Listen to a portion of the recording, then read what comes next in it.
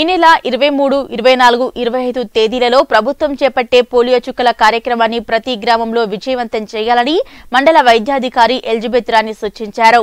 రామయ్యంపేట మండల కేంద్రంలోని ఎంపీడీఓ కార్యాలయంలో ఎంపీపీ భిక్షపతి ఆధ్వర్యంలో మండల టాస్క్ ఫోర్స్ అధికారులతో సమావేశం ఏర్పాటు చేశారు. ఈ సమావేశానికి పంచాయతీ కార్యదర్శులు సర్పంచ్లు మరియు ఎంపీటీసీలు హాజరయ్యారు.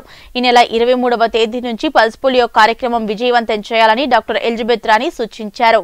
సమస్యలు ఉంటే తమ దృష్టికి తీసుకురావాలని ప్రజా ప్రతినిధులు అందరికీ సూచించారు. అదేవిధంగా కరోనా వ్యాక్సినేషన్ బూస్టర్ డోస్ నేటి నుంచి ప్రారంభించామని ఫ్రంట్ లైన్ వారియర్స్కి బూస్టర్ డోస్ తీసుకోవాలని ఆమె సూచించారు. ఈ కార్యక్రమంలో మండల వైద్యాధికారి Elizabeth Rani MPP Vikshapathi ZPTC Sandhya ఆరోగ్య విస్తరణ అధికారి రవీందర్ పిహెచ్ఎం సత్యమ్మ శ్యామల సునందతో పాటు పలు గ్రామాల సర్పంచులు ప్రజా ప్రతినిధులు పంచాయతీ కార్యదర్శులు పాల్గొన్నారు.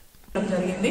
పల్స్ పోలియో కార్యక్రమము ఈ సంవత్సరము రెండు వేల ఇరవై రెండు జనవరి ఇరవై మూడు ఇరవై నాలుగు ఇరవై ఐదు తేదీల్లో జరుగుతుందండి. ఇరవై మూడు బూత్ యాక్టివిటీ ఇరవై నాలుగు ఇరవై ఐదు హౌస్ టు హౌస్ యాక్టివిటీ జరుగుతూ ఉంది. సో దయచేసి పుట్టిన పిల్లలు మొదలుకొని ఐదు సంవత్సరాల లోపు ఉన్న పిల్లలందరూ వ్యాక్సిన్ తీసుకోవాలి. రెండు చుక్కలు ఖచ్చితంగా అందరూ వ్యాక్సిన్ తీసుకోవాలని కోరుకుంటున్నాను. దయచేసి మండలాలు రెండు మండలాలు రామాంపేట్ మండల్ నిజాంపేట్ మండల్ అండ్ మున్సిపాలిటీ. ఈ మూడు చోట్లల్లో వైద్య సిబ్బంది ఐసిడిఎస్ సిబ్బంది పాల్గొని అంతేకాకుండా స్వచ్ఛందంగా కొంతమంది వాలంటీర్స్ అందరూ రెండు వందల ఇరవై ఎనిమిది మంది దీంట్లో పార్టిసిపేట్ చేస్తున్నారు. నాలుగు రూట్స్ ఉన్నాయండి. నాలుగు రూట్ సూపర్వైజర్స్తో పాటు నాలుగు రూట్స్లో తిరుగుతూ ఉంటారు. రెండు ట్రాన్సిట్ పాయింట్స్ ఉన్నాయి. ఒక బస్ బస్ స్టాండ్ ఒకటి రైల్వే స్టేషన్. అంతేకాకుండా ఎక్కడెక్కడైతే మైగ్రేటరీ పాపులేషన్ ఉంటుందో వాళ్ళకి మొబైల్ టీం తిరుగుతూ ఉంటది. ఎవరైతే ఇటుక పట్టీలు చేసుకుంటూ లేకపోతే గుడిసెలు డేరాలు వేసుకొని ఉంటున్నారో ఆ పిల్లల్ని కూడా వదిలిపెట్టకుండా వ్యాక్సినేషన్ కార్యక్రమం జరుగుతూ ఉంటది.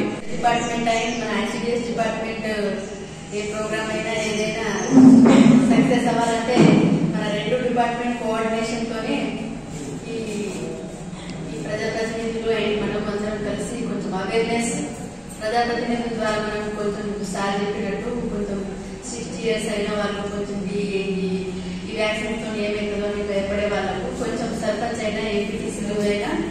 అండ్ ఇట్లాంటి మనం ఈ నేషనల్ ప్రోగ్రామ్కి మనం అందరము కోఆర్డినేషన్తో చేస్తేనే అవుతుంది.